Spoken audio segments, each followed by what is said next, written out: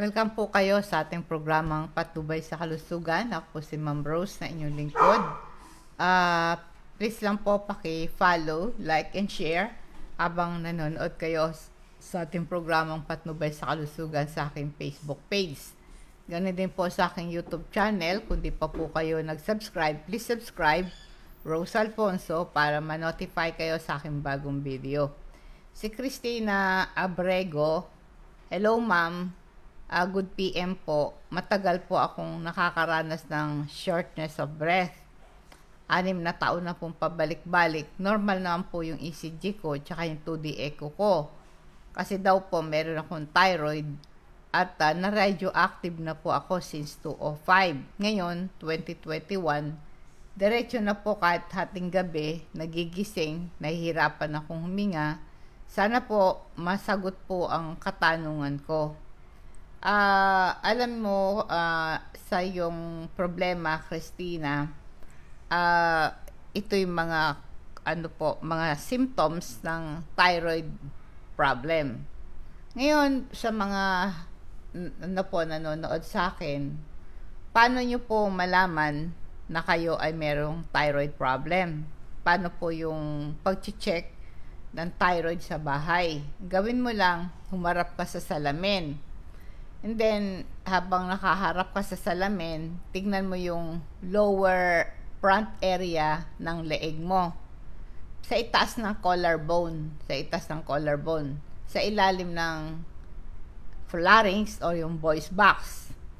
Ang thyroid gland po natin, nasa area ng ating leeg. Ngayon, habang tinitignan mo yung leeg mo sa salamin, tumingala ka sa taas, then uminom ka ng tubig. Tapos lunukin mo. Pag nilunok mo, tignan mo yung leeg mo. Pagka merong uh, umum- umumbok o umusli dyan sa may le- le- sa ilalim ng iyong voice box, ibig sabihin nito ay meron kang thyroid problem. Lumaki yung thyroid gland mo. O kaya meron kang thyroid nodule na dapat ito'y ipakonsulta sa doktor para kung anong magandang treatment sa thyroid problem mo. Ang meron po dalawang klase ng thyroid, uh, hypothyroidism and hyperthyroidism. Yung pong hypothyroid, uh, nanghihina ang muscle mo dyan at uh, pati ang paghinga mo, nahirapan ka rin kasi ang baga mo, less ang kanyang pagtatrabaho. Kaya nakakaranas ka ng pangangapos ng hininga, pakiramdam mo ay kulang ka sa hangin. Ang ito po kasing ano, konti yung pinoproduce mong thyroid hormone, ang tawag po diyan ay hypothyroidism. Uh, nagkakaroon ka ng hirap paghinga uh, kasi na, at nagkakaroon ka rin ng ano yung sa sa pagtulog mo, 'di ba? Pag natutulog tayo, uh, humihinga tayo. Pero kapag meron kang thyroid problem, uh, nagkakaroon ng pause, tumitigil pa, panandalian ang paghinga mo. Several times uh, na beses o maraming beses mong maramdaman ito habang natutulog ka, kaya nagigising ka. Kaya kapag ka kinakapos ka ng hininga, na meron kang thyroid problem, uh, umihina yung respiratory muscle mo at bumababa ang function ng baga mo. Kaya nakakaramdam pa din ng pagod, hapo, kinakapos ng hininga, at, uh, nadi- at saka yung ang hypothyroidism, minsan namamaga pa yung, yung dila mo, nagkakaroon ka ng pamamaos uh, ng boses mo, at saka yun na nga, habang natutulog ka, tumitigil sandali ang paghinga mo. Yun ang dahilan ng pagkakapas mo ng hininga at saka hirap kang matulog. Kapag ang thyroid mo nagpo-produce ng konting thyroid hormone, ang tawag doon hypothyroidism. Kaya apektado yung tulog mo dyan. Pag too much naman yung production mo ng thyroid hormone, overactive ang thyroid mo, ang tawag diyan ay hyperthyroidism. Nagiging dahilan nito ng anxiety, mabilis na pintig ng puso, at insomnia. Kaya pag ang yung thyroid nagpuproduce ng konting hormone, ang tawag nga doon ay hypothyroidism. Nahirapan ka rin matulog dyan. At uh, tulog, parang ang term na ginagamit ay parang tulog manok. Tutulog ka, gigising ka, tutulog ka, gigising ka. Hindi tuloy-tuloy yung tulog mo. So, itong hypothyroidism, pagka konti ang hormone production mo na thyroxine, ay nakakaramdam ka ng ano yung bang lamig at saka nagkakaroon ka ng pananakit ng mga buto at kasukasuan mo. At yung pain na nararamdaman mo dyan, nagkukos ng discomfort na hindi ka makatulog. Kaya po yung merong thyroid problem, nagkakaroon ka ng sleep problem. Dahil meron kang thyroid imbalances, nakalink yan sa uh, sleep problem. Kaya ganun din yung hyperthyroidism, yung overactive, nagkukos din ng sleeping difficulty. Too much or under or overactive ganon, pareho ang epekto sa katawan. Lalo na kapag uh, overactive ang thyroid mo, nagpo-produce ka ng maraming hormone, uh, nagkukos ito ng, ano, ng nervousness or irritability, panghihina ng muscle, at pangkaramdam ng hapo at pagod at hingal. Kaya pagka meron kang overactive thyroid, nagpapawis ka ng malamig at meron kang urge na maya-maya umiihi ka, naapektuhan ng tulog mo.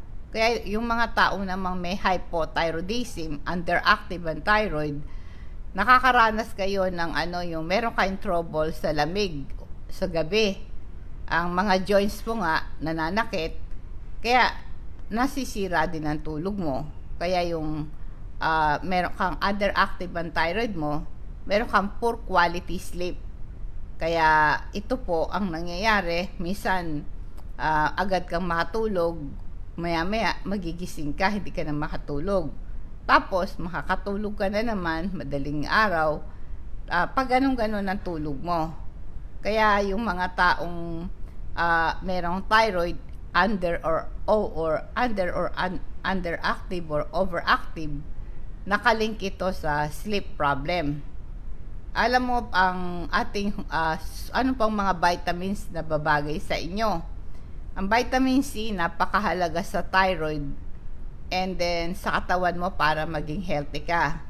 mga pasyenteng merong hypothyroidism ay kailangan ng vitamin C para ma-improve ang abnormalities sa T3, T4, yung uh, ito'y makatulong sa management sa inyong sakit.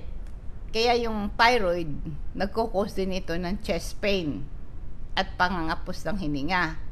Kaya mga taong merong overactive na thyroid, nakakaranas sila ng heart-related symptoms, merong palpitation, shortness of breath, chest pain, minsan pamamaga ng mga binte, magkakaroon din ng congestive heart failure.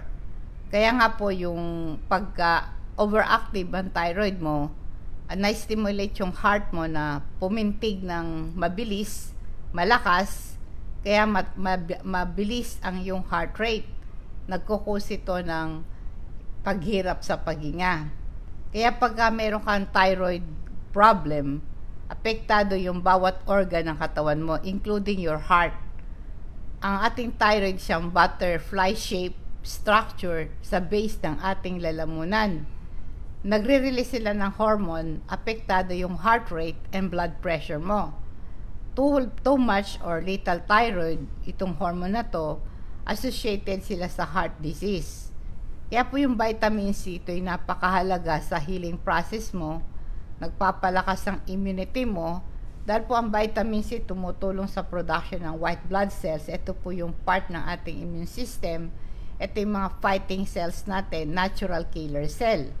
Tumutulong para labanan ng infection, mapurify, mapoprotect ang katawan mo sa infection. Ang vitamin C tumutulong sa pag-protect uh, sa katawan mo dahil nadidecrease ang replication ng mga viruses ang vitamin C po natin, hindi siya nakaka-acidic dahil meron siyang sodium component lower ang acidity level mo. Pag may sakit ka, para gumaling ka kagad at hindi lumala ang, ang sipon at ubo mo o pneumonia or COVID-19 or yung coronavirus, ang vitamin C po ay nagpiprevent, narirelieve simptoma ng virus-induced respiratory infection. Ito'y water-soluble vitamins, lumalakas ang resistensya mo panlaban sa infection, kaya ito po ay magandang inumin mo itong supplement na to 30 minutes bago ka magalmusal. Ito'y chewable, uh, water soluble, nadidissolve sa tubig at madaling mahihatid makarating sa daluyan ng ating dugo. Ay ito po pwede nitong pa-door to door sa LBC. I-chat nyo lang ako sa aking Facebook page.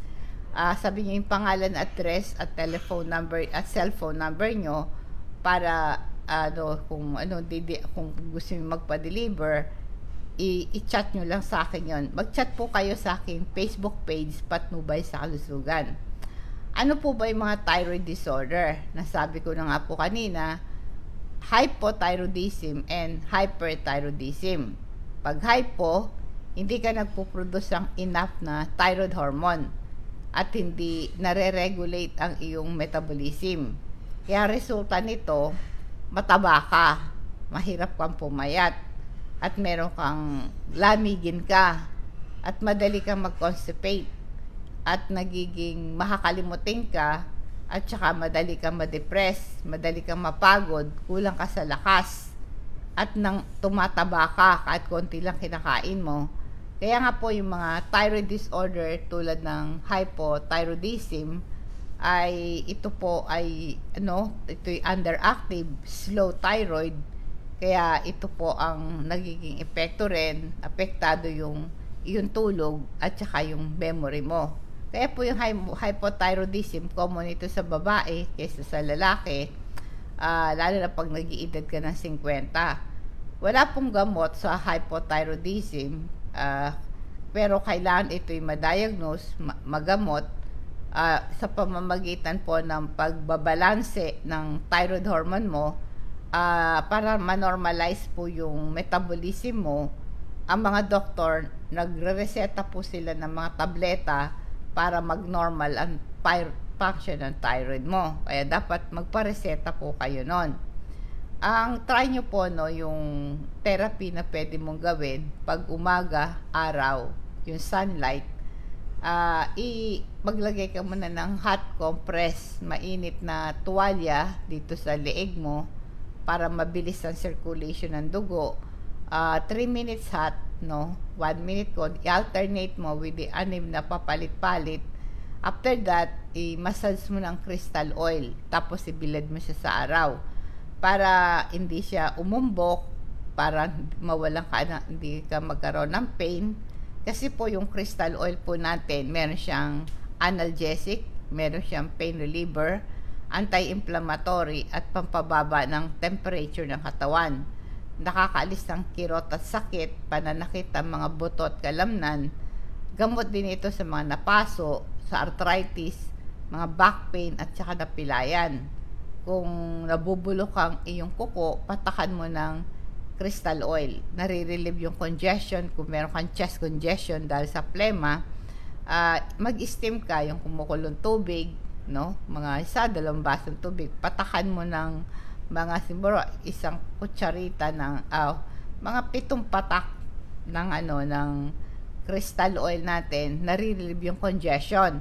Naalis yung bara sa ilong, mawala yung katinang lalamunan, nawawala yung chest congestion Anti-spasmodic pa rin yan sa mga pulikat, massage mo lang yung binti mo, sakit ng tiyan at puson, massage mo sa sikmura mo pagka sinisikmura ka, ihaplas mo lang yung ating crystal oil. Meron siyang scent ng ilang-ilang at lavender oil. Ito yung nagpo-promote ng relaxation. Pag inaplas mo yan sa dibdib, batok at likod mo. Available po ito sa patnubay sa kalusugan, no? Ang ang ito pong hyperthyroidism, kanina po sinabi ko yung hypo, itong hyperthyroidism na to, pagka yung thyroid hormone mo, nagpo-provide ng too much hormone. Uh, ito po ay ang resulta nagkakaroon po ng quickening or stimulation ng body's chemical processes metabolism. Kaya ang nararamdaman mo dyan, ano madali kang mabalisa, ma, ma, malakas kang kumain, pero hindi ka naman tumataba. Mabilis ang pintig ng puso mo, madali kang irritable ka at tumatas ang presyo ng dugo mo, nervyoso ka, at patuloy ang pagla, pagbab, pagbagsak ng iyong timbang. Ito mga mga thyroid disorder, either under or overactive na thyroid, uh, ito po ay kailangan ipasuri sa doktor para ito po ay ma, mabigyan ng maiwasan ng mga serious uh, life-threatening symptoms. Uh, pwedeng magkaroon ito ng pagbuntis ka, tapos may goiter ka, nagkakaroon ng birth defect kaya dapat ito'y uh, masusing uh, bantayan, lalo na sa mga babae na nagdadalang tao. At uh, nagiging epekto rin po nito, cardiac arrhythmia. Meron kang palpitation, irregular heartbeat, heart failure. Yan ang mga epekto ng thyroid disorder. Kaya pagka meron kayong chest pain, palpitation, or confusion, at uh, kinakapos ka ng hininga, minsan nawawala ng malay, kailangan po ay ipa, ipa, daling ka na sa emergency, mahospital ka na. Kaya alam mo yung mga tao merong hyperthyroidism, ay sila po ay apektado yung memory, nagiging makakalimutin, madaling magalit, madaling mairita, at madaling mataranta. At saka yung mga mga tao na merong mga thyroid, minsan po sad to say, umuuwi sa cancer sa thyroid. Kaya ito ay dapat ipasuri yung tinatawag nating Hashimoto thyroiditis, no? Uh, ito dapat ito ipasuri. Paalala po at sa ating Super B complex, merong vital role ang Super B complex sa kalusugan ng ating thyroid gland. So, minom ka nito kahit na once a day. Uh, ito'y building blocks ng healthy body meron direct impact sa energy level. Di ba yung mga may thyroid problem, madaling manghina. So, mag-take ka ng Super B complex. Yung mga kagagaling lang sa COVID, nanghihina, walang lakas, kailangan mag-take kayo ng vitamin C at Super B complex ipagsabay nyo sa umaga para magkaroon ka ng uh, lumakas ang iyong katawan, pati ang brain function mo, and cell metabolism. Ang ating Super B complex nagpe-prevent ng infection at ito ay nag increase yung energy level mo at nagpe-prevent yung constipation, nagkakaroon ka ng good digestion, healthy appetite, at saka ito po'y magkakaroon ka ng healthy digestion. Lalo na kung meron kang GERD, meron kang acid reflux, mag-take ka ng Super B complex. Kaya ito pong ano itong mga thyroid problem na ito, uh, dapat ito ay bigyan natin ng pansin. Lalo na po kung nakakaramdam pa ng nervyos, hindi ka makatulog, at saka kinakapos ka ng hininga. Kaya marami pong nagkakaroon ng cancer sa mga meron thyroid. Kaya kailangan ng diagnosis and treatment galing sa doktor mo. Magkaroon ka ng medical care uh, pa, mag, mag-compliance ka sa kanilang treatment.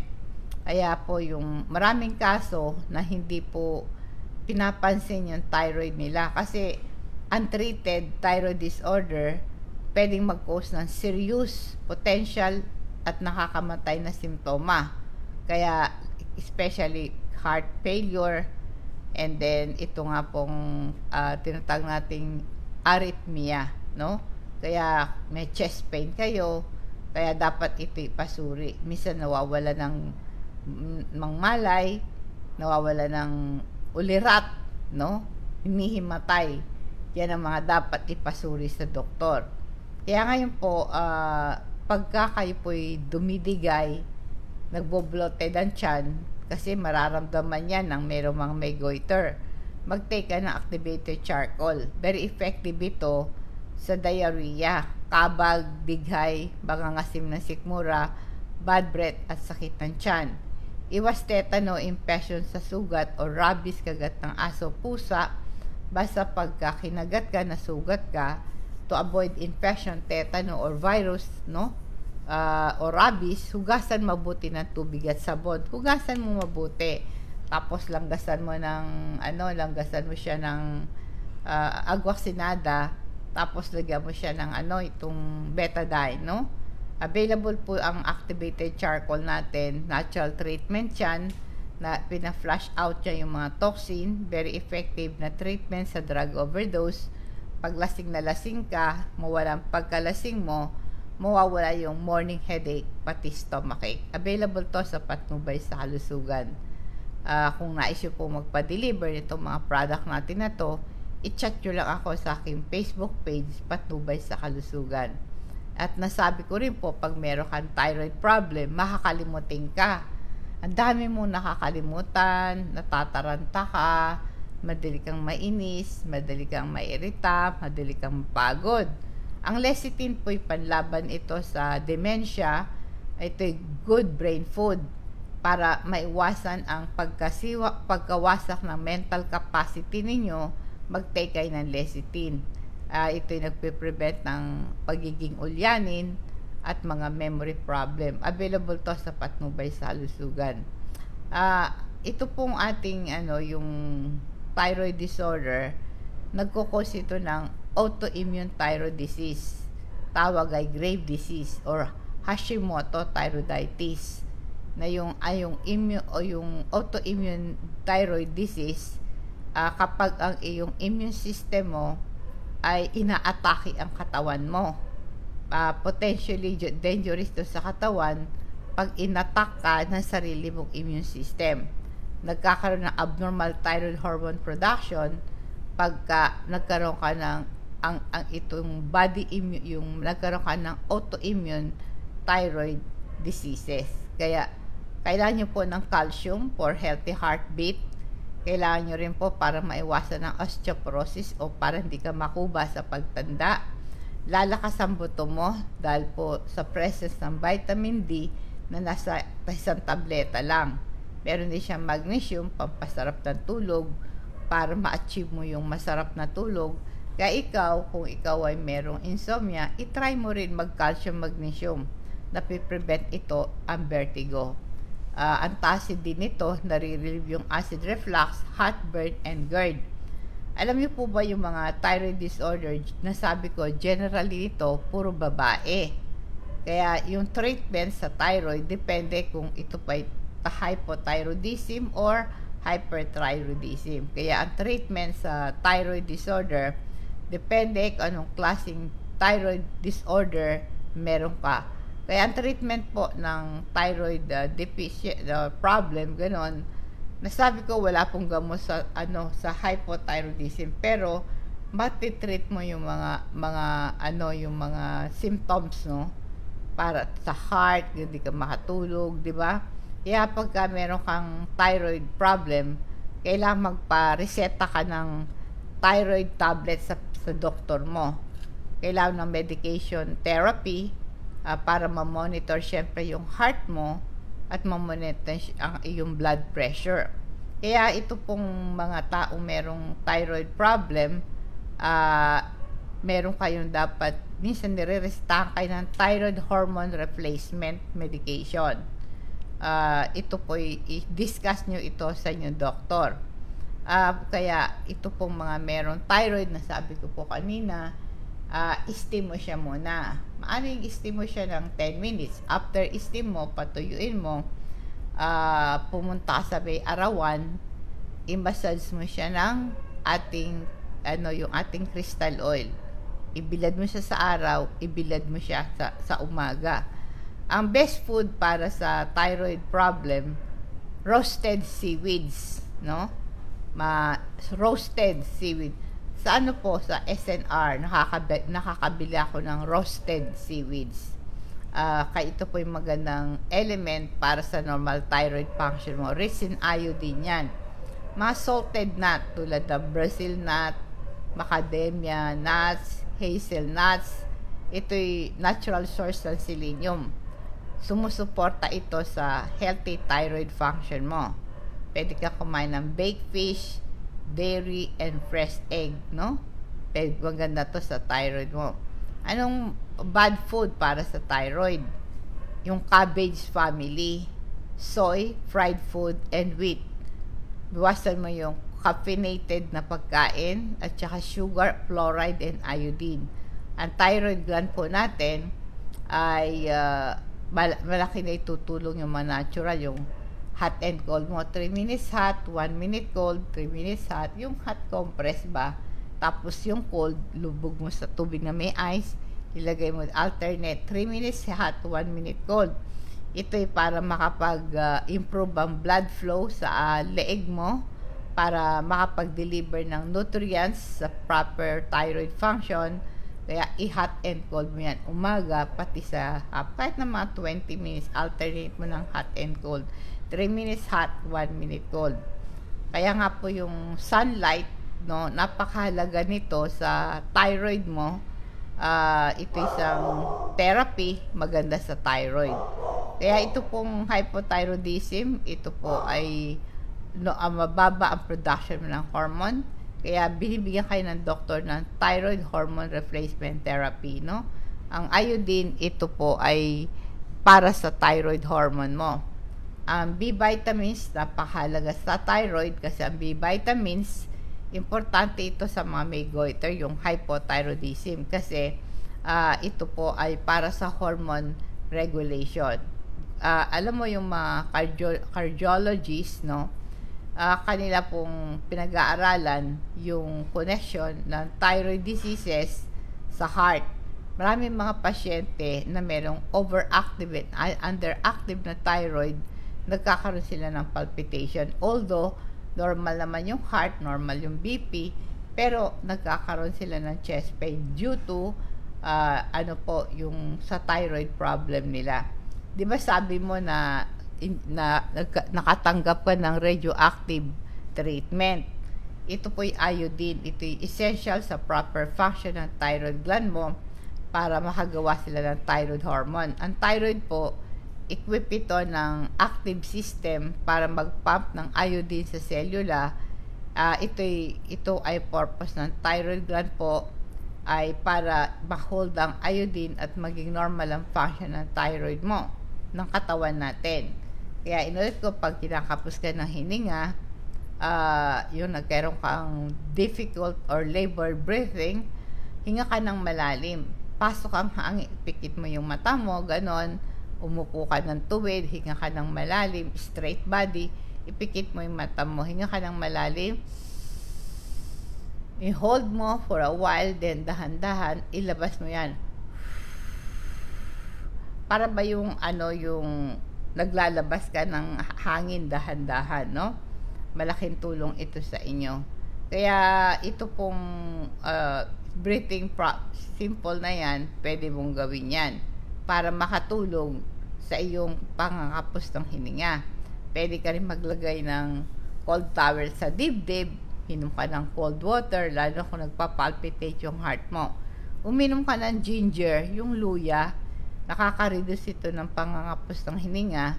Meron siyang anti-inflammatory properties, nare-reduce din yung inflammation sa baga mo. Uh, pagka nahirapan kang huminga, pwede kayong ano, umarap sa ventilador uh, langhapin mo yung hangin yan. Paalala po sa omega-3 fatty acid. Ito'y panlaban sa mental disorder at uh, saka yung depression at anxiety. Maganda to sa may thyroid problem para makatulog ka at mawala ang palpitation mo at naalis yung mga bara sa ugat ng ating puso at ang omega-3 po nagpo-protect ng heart nakakatulong para ma-maintain ang brain function And then, ang omega-3 po, ito'y panlaban sa sakit sa mata at uh, itong mga menopause na babae, ma-improve ang ano po yung hot flashes mo pagka magka nag-omega 3 ka, ito po yung magandang pabababa ng cholesterol, triglycerides at para maging regular ang heartbeat mo. Ang omega 3 po nakaka uh, prevent ng blood clot. Itong omega 3, ito po ay very merong relation ito sa inflammation. Tumutulong ang omega-3 para ma-reduce ang production ng mga substance na kaling sa inflammation. Kaya ang omega 3 po, ito yung magandang pam-prevent, no? Yung mga pam-prevent ng cancer sa suso at saka cancer sa prostate. So available to sa Patnubay sa Kalusugan. Kung nais nyo pong magpa-deliver nito, i-chat nyo lang ako sa aking Facebook page Patnubay sa Kalusugan. Sabihin yung pangalan, address at cellphone number kung ano yung pa-deliver mo. Ito po yung merong shipping fee dito sa Metro Manila from 120 pataas, no? Sa probinsya, ganun din, 185 pesos pataas. Bisaya at Mindanao, 200 pesos from 200 hanggang pataas po, no? Depende sa dami ng order nyo. Sa inyo pong panonood sa aking Facebook page, Patnubay sa Kalusugan, pakiclick lang po yung bell, pakiclick lang po yung follow, like, and share para lumaganap ang ating programa. Sa atin naman pong YouTube, kung hindi pa po kayo nag-subscribe, please subscribe, pindutin nyo po yung bell. Dadako po tayo sa ating food forecast bilang pagwawakas Karaya chapter 7 verse 9. Ganito ang sabi ng Panginoon. Uh, mag mag ano maging maglapat kayo ng tunay na kahatulan. Magpakita kayo ng kawaan at kahabagan ang bawat isa sa kanyang mga kapatid. Nagsalita ang Panginoon, sinasabi niya, execute through judgment, no? Huwag natin take advantage ang kanilang pagiging helpless nila magkaroon tayo ng respect sa ating kapwa. Uh, kung wag tayong magpas ng judgment na ikakadiin nila, mag, kundi magpakita tayo ng respeto sa kanila. Kaya sabi ng Panginoon, I show mercy and compassion to every man, uh, ganun din ang gawin po ninyo. Kaya ang Panginoon ang sabi, God so loved the world, mahal niya tayo lahat. Kaya sa 1 John chapter 3 verse 17 ang sabi, Sino mang mayroong pag-aari sa sanlibutan ito, makikita niyang kanyang kapatid na nangangailangan at doon ay pinagkait ang kanyang awa, paanong mamanahin ang pag-ibig ng Diyos sa kanya. Malalaman mong nagmamahal ka sa Diyos pag nagmamahal ka sa iyong kapwa. Eh sabi po sa ating memory text, sabi ganon, ang sino man ay huwag mag-isip ng kasamaan sa kanyang puso at laban sa kanyang kapatid.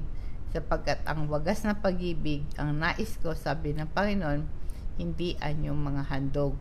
Kaya ang Panginoon po, mga, kayo pong mga nanonood sa akin, na nagsabi, tayo po tunay na magmahal sa ating kapwa, huwag tayong hahatol, huwag nating ipagkait ang kaawaan at kahabagan sa mga taong nangangailangan. Masarap magbigay, lalo na kung napaligaya mo ang mga tao Nawa po ang pagpapala, patnubay ng Diyos ang sumatin, and God bless us all.